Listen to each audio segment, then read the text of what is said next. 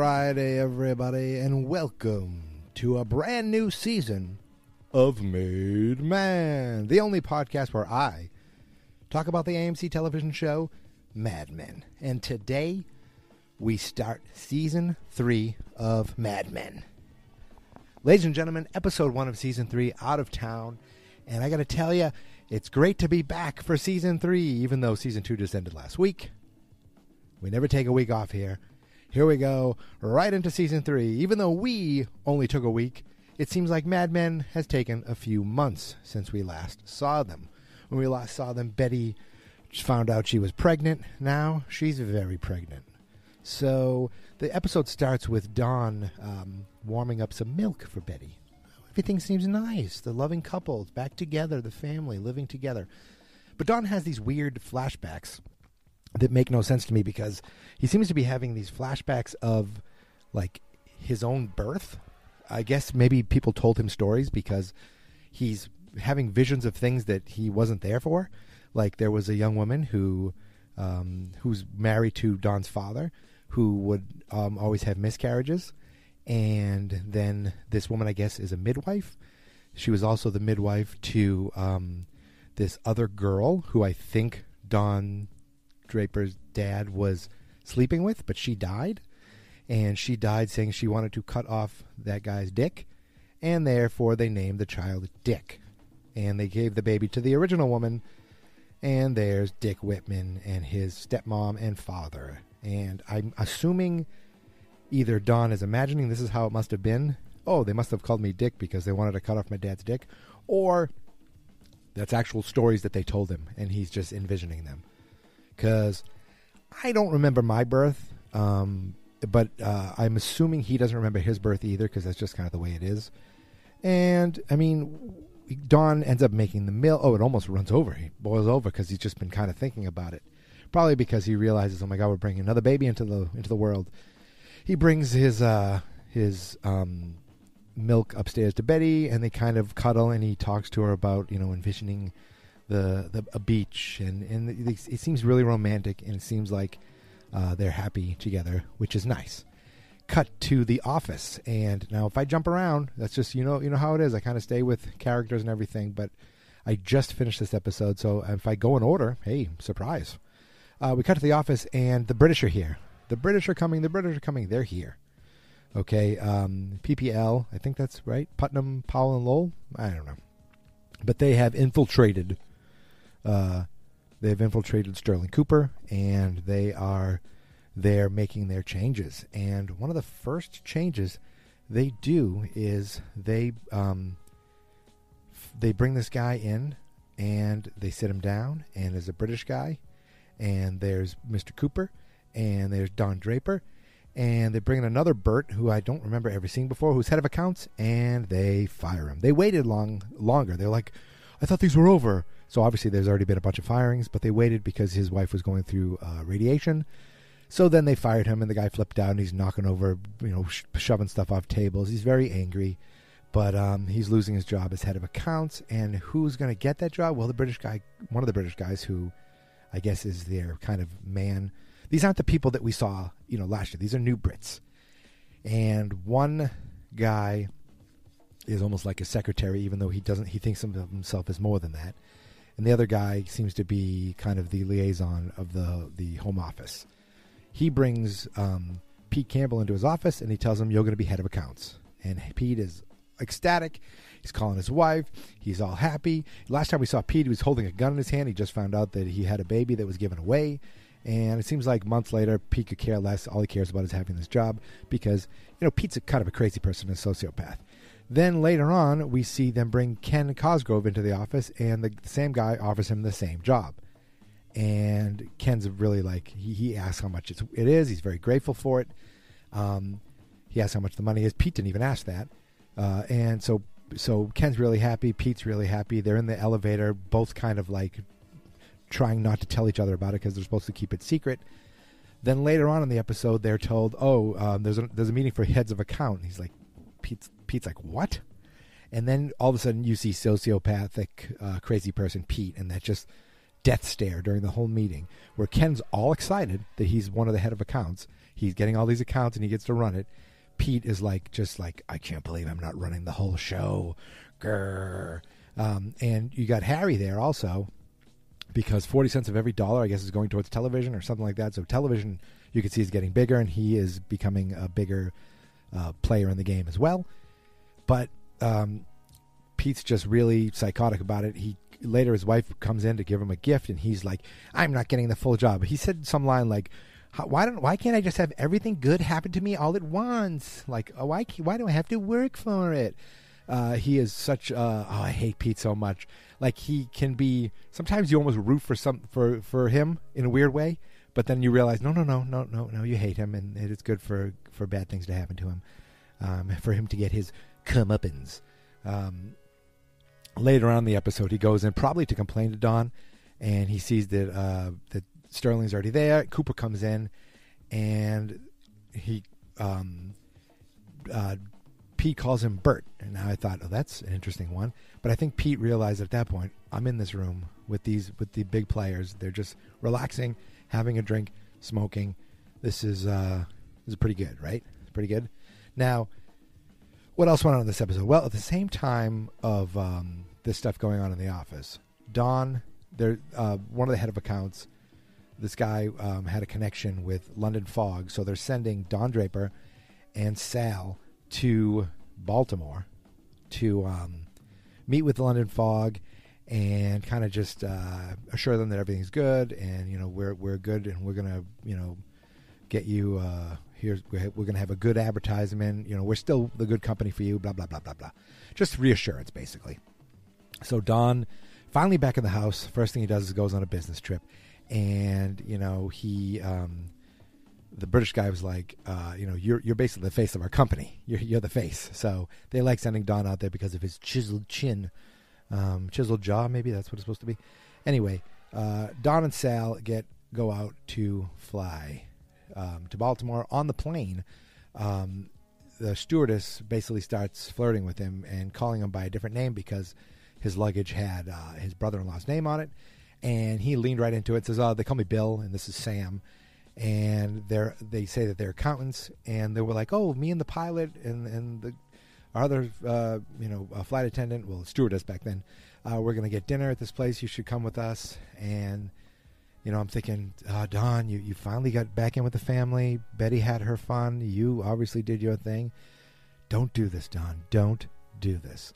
But they go out for dinner and they start playing with them all. And I'm thinking, okay, well, the pilot's there. Maybe it's just you know, um, maybe it's not as big of a deal as I thought. It's just them kind of hanging out with people.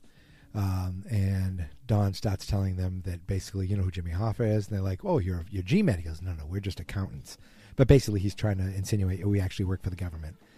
Uh, it you know later on in the episode, they're going up an elevator, like, "Oh, let's go back," because they're all staying at the same hotel, obviously let's go up to our hotel room, and they're in an elevator with a, a guy working at the um, uh, at the hotel, and he gets off, and then it's just Sal, one of the flight attendants, and uh, Don, and the guys and Sal's like, "Oh, I felt underdressed. We're we're not in uniforms because he noticed that guy was in uniform. The stewardess is in uniform."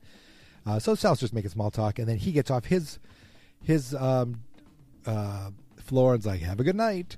And then Don goes up to his floor, and the flight attendant's like, um, "This is. Uh, let me see what your floor looks like."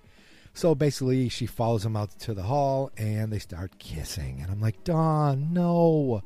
I, I, I know there's that whole thing of Don, you're still a player, but at the same time, I'm that guy who's like, no, you you you've put this behind you. You're a good family man now. That's just me. I didn't want him. I wanted to root for him to pull away and say, no, I'm married. Uh, but he didn't do that. He says, I'm married. There's lots of chances. So they end up in the in their room together, in his room together. She starts undressing. At the same time, Sal goes alone to his room, and he's scorching hot because his air conditioner is not working. He calls the front desk. They send that same guy who was in the elevator up to the room to fix the air conditioner. And Sal's like, "Thank you." And then he looks down to give the guy a tip, and the guy gets right up in his face and is like, "Hey, Sal, what up?" So they start kissing. And my first thought was, Sal, finally, you're getting some. Finally, and it seemed the way it the way Sal reacted, he was like, "Oh my god, oh my god, oh my god." To me, I thought, is this his first time acting on what he wants? Like, he's married to a woman, and it's always been to me, you know, that implication that he's obviously a gay guy. Uh, is this him finally going, "Oh my god, this is what I like"? So I, it seemed like it was almost like his first time because he was freaking, or maybe he's just like, "I can't believe I'm doing this." Uh, it's been so long, or I can't believe I'm doing this. I'm married. Either way, he was like, "Yeah, baby," and I was like, "Sal, you're finally getting yours." And then a friggin' fire alarm goes off. A fire alarm that means you have to go out the fire escape. So Don runs out the fire escape, goes down the steps on the fire escape, looks into Sal's room. He's like, "Let's go." And Sal's like, "Okay," and he's getting dressed. And then the other guy comes out of the room too, and Don's like, two guys, huh?" You see that look on his face, like, "What? What? What?" And Sal's like, oh, shit. They go out to the street, and Sal just kind of looks at him like, hey. And Don's like, hello.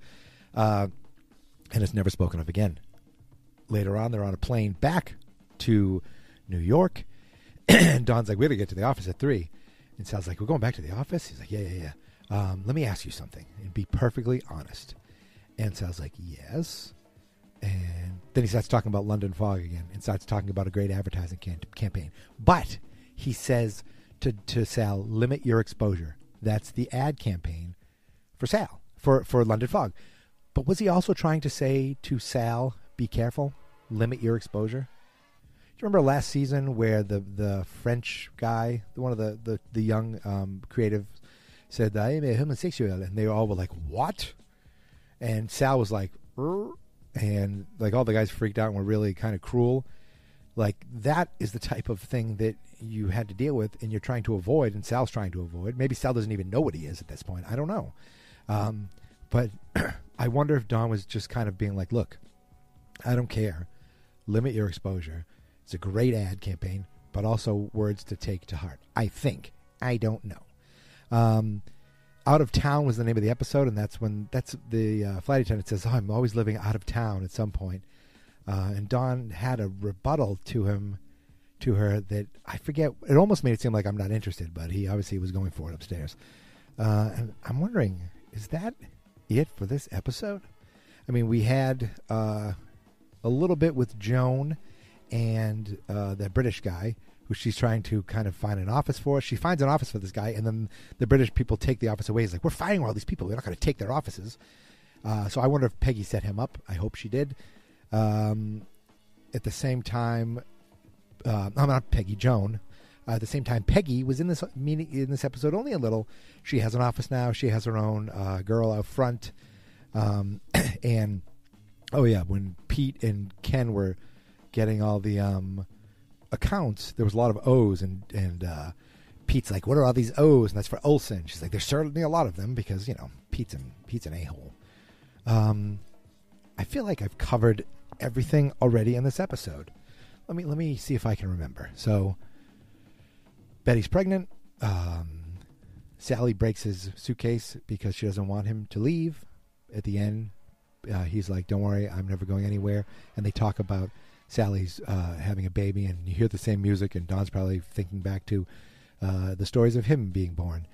Um, so, yeah, he goes to Baltimore. He does try to hook up with a woman. Uh, he doesn't. Sal almost hooks up with a guy.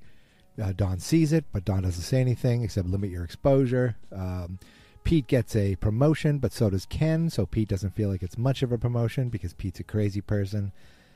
Uh, they fire the old head of accounts, um, and the British are definitely uh, making their uh, their staking their claim in this company, as you can see, and it'll be interesting to see where it goes from here.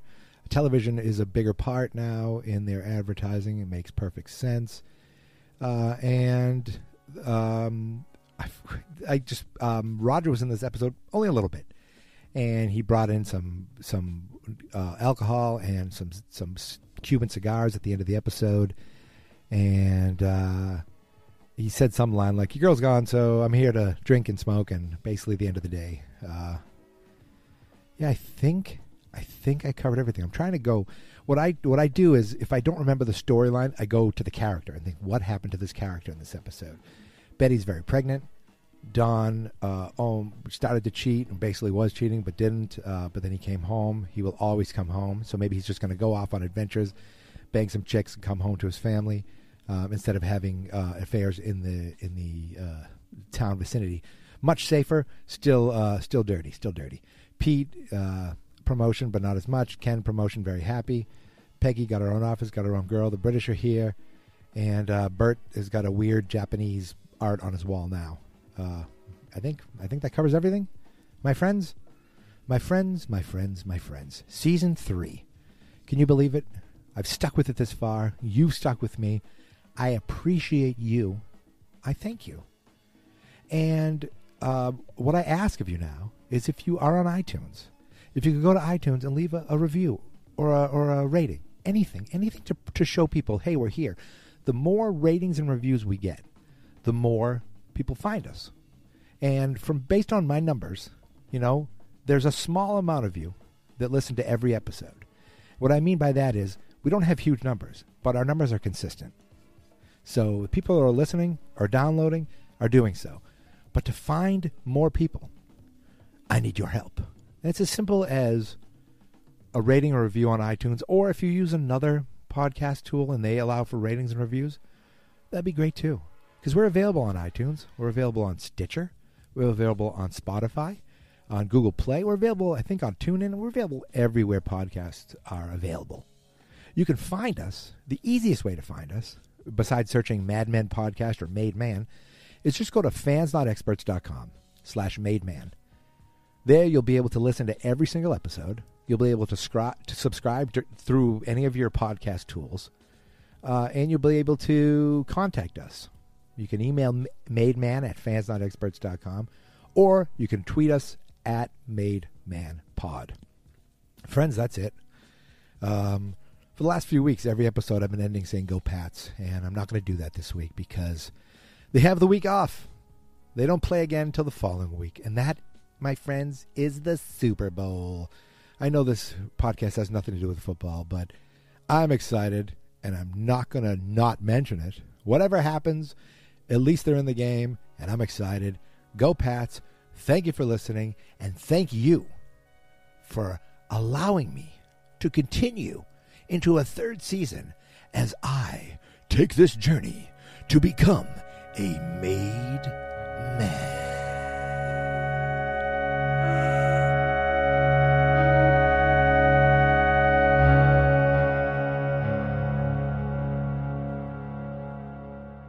Fans not experts.